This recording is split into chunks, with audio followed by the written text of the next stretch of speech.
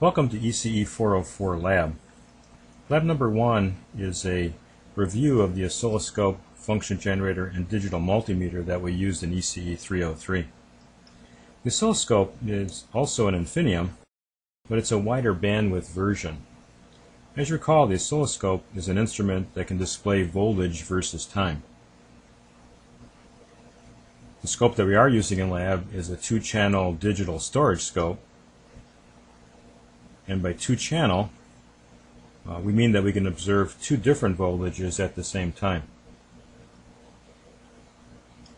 Digital storage means that the voltage that is measured is converted to a series of binary numbers, which are then stored in memory and then converted for a monitor to display.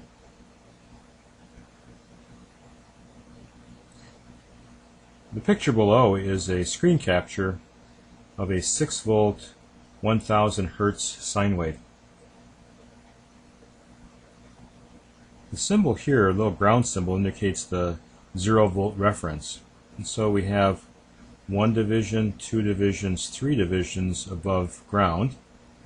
And the number of volts per division is shown right here as 2 volts per division, so that gives us 6 volts.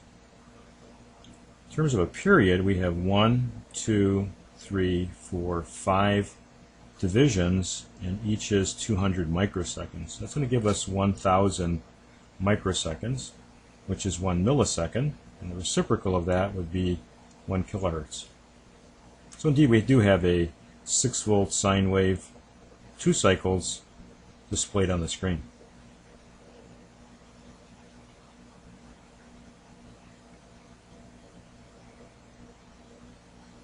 As we used in 303, we're using passive components, and of course one of those is a resistor. And the resistors we're going to be using in lab for the most part have a color code. And the colors are shown here of black through white, where each, each color indicates a specific numerical value. And then lastly, there is a band which will indicate a tolerance. Now bands 1, 2, and 3 with the colors shown tell you the value of the resistor on the average.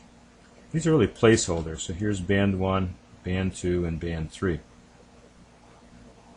Let's do an example. Suppose that we take a red, violet, yellow, gold resistor and try to figure out its value and then its range of values. If you look up above, red is 2, violet is 7, and yellow is 4. And so that would be 270,000 ohms, the goal being a 5% tolerance. So the resistor could be anywhere between 5% above 270K or 5% below 270K. And that corresponds to 256.5K to 283.5K. In lab, we have a fairly accurate multimeter that can measure resistance. Has two different modes. One's called a two-wire measurement mode, and the picture below here kind of indicates what's happening in terms of the instrument. We hook up a wire from the high and low connections, say one's red and one's black, and we hook up our unknown resistor, let's call it R sub U.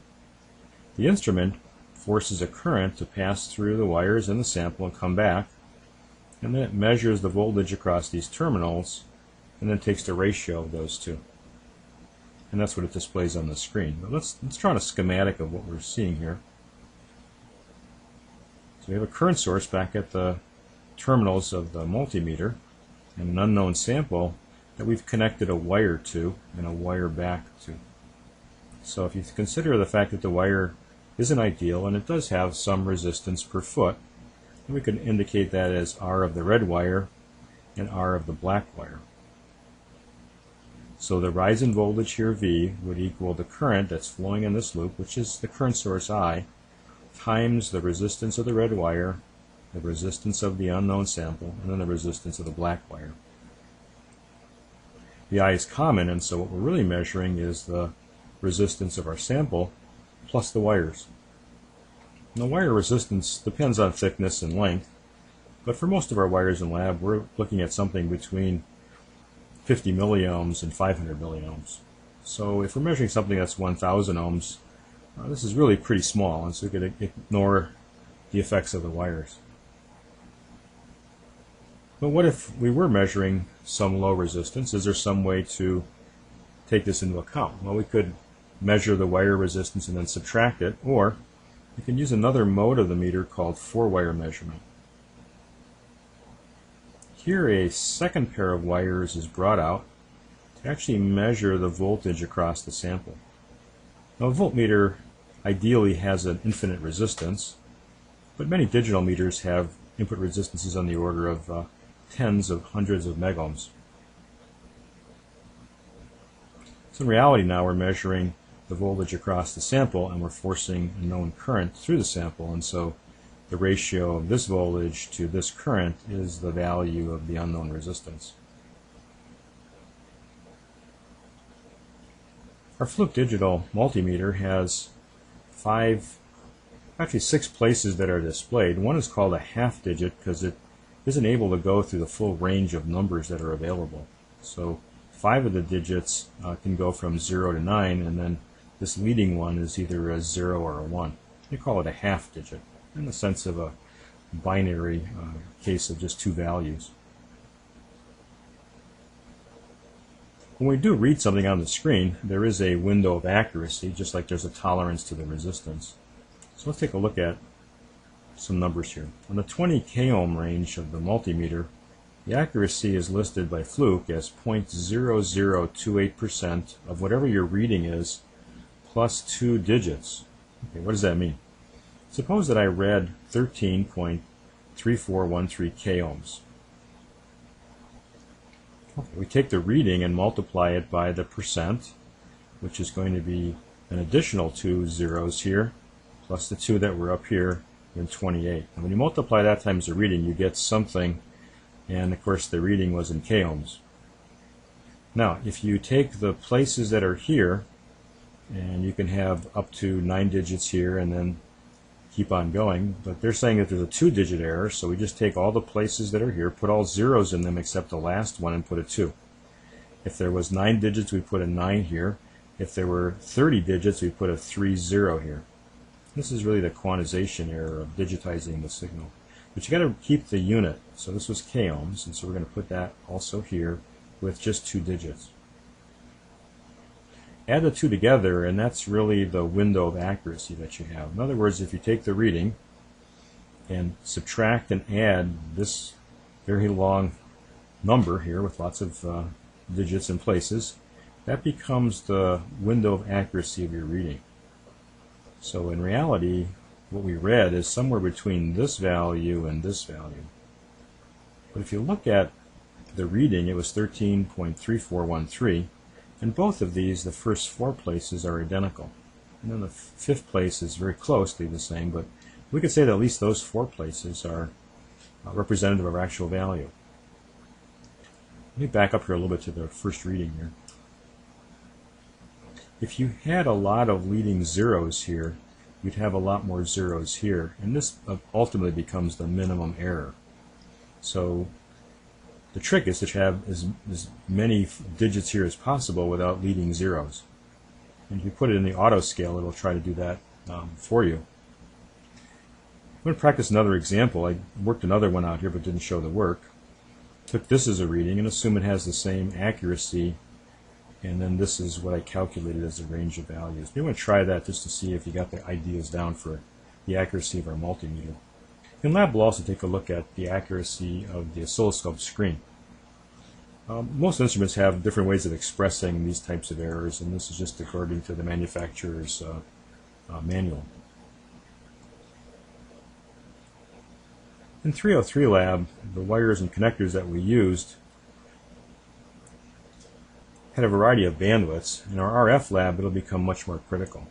We're going to use BNC type connectors in everything we do actually, except DC power supplies. When you interconnect these two pieces of the BNC cables, you create a shield that is uh, continuous in the sense that the wire itself has a sleeve around it that's actually a braided metal, kind of forms a, like a cage, and then the some type of a dielectric, and then the actual wire itself. So this outer shield is our ground, and the inner wire gives us our two connections. These type of connectors can go into the many gigahertz range. We also use banana wires and banana to grabber wires, mostly used for low frequency uh, audio connections or DC. Sometimes we need to have a little alligator clip to connect on that can slip on the end of this, or you can just use the grabber itself. We don't have to worry about the, the oxidation on the tips here because that does give you some more resistance. So sometimes kind of rubbing those or trying to clean them a little bit does help. Lastly, we're going to use our oscilloscope probe to take quite a few measurements. This is a little different than the probe we currently use in the 303 lab. This has a much higher bandwidth capabilities. Our oscilloscope has a usable frequency of 1 gigahertz. The 303 oscilloscope has a usable bandwidth of 500 megahertz.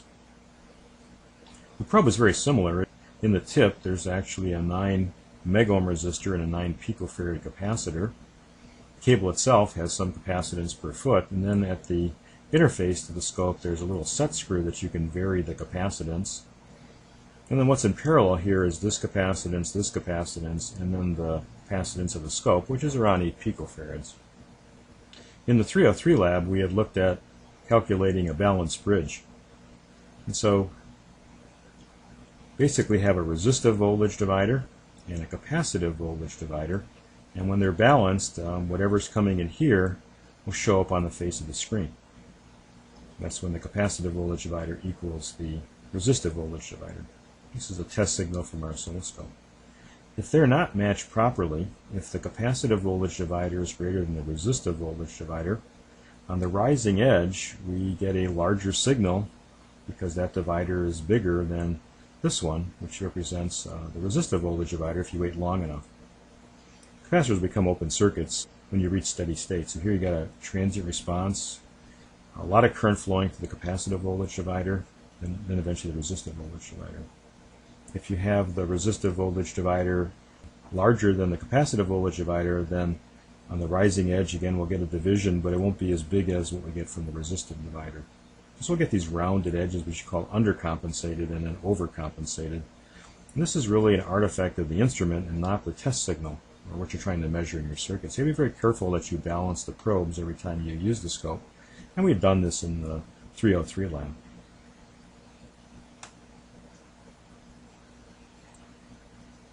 Most of our labs will have two things, uh, concepts and techniques. In this particular lab, we're learning about the instruments. In some cases, it's a review. Uh, perhaps maybe it isn't. But we're taking a look at equivalent circuits of our oscilloscope and multimeter, use of a balance bridge for a scope, and then the accuracy of our components and instruments We take a look at techniques of voltage and time measurement on a scope, procedure for compensating the probe, and lastly measurement of resistors, including small values. This will be our first lab experiment in 404.